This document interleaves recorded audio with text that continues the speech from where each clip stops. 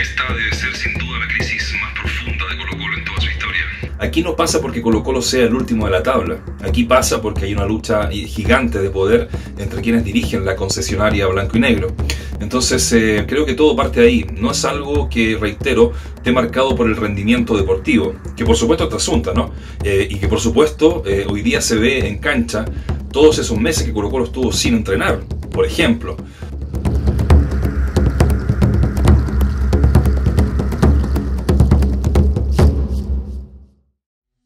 Colo Colo hoy en día vive uno de sus peores momentos en la historia. Hasta el momento va último en la tabla del campeonato nacional, algo que lo tiene al borde del descenso.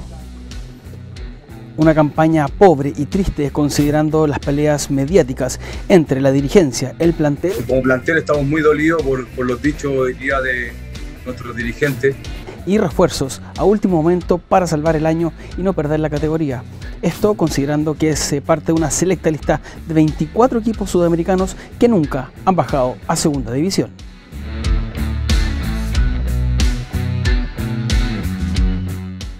Con este escenario entonces la pregunta es, ¿qué le queda a Colo Colo?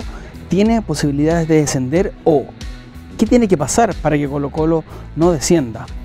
A la fecha le restan jugar 14 partidos, de los cuales necesita ganar sí o sí 7 considerando las estadísticas del Campeonato Nacional 2019. Una tarea no menor considerando la cosecha de puntos que tiene actualmente, donde ha sumado solo 17 unidades en 20 partidos.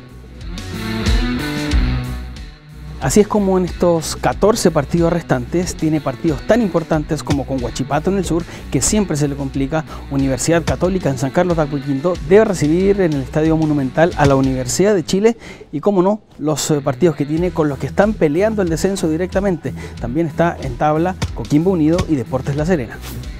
Nombres de equipos que como la UC, que es el sólido puntero, quien busca el tricampeonato, va a ser un hueso duro de roer para un equipo que destra Gustavo Quinteros, quien lo ha dado con un esquema regular y un tipo de juego que se adapte a las necesidades del nuevo entrenador, quien también ha debido convivir con las lesiones de sus principales jugadores. Dentro de los 20 partidos que le han dado 17 puntos a los salvos, escuche bien, esta es la estadística. Son 4 victorias, 5 empates y 11 derrotas. Estadísticas pobre para uno de los equipos más grandes de Chile, ya que ha anotado 21 goles y ha recibido 30 tantos en su contra.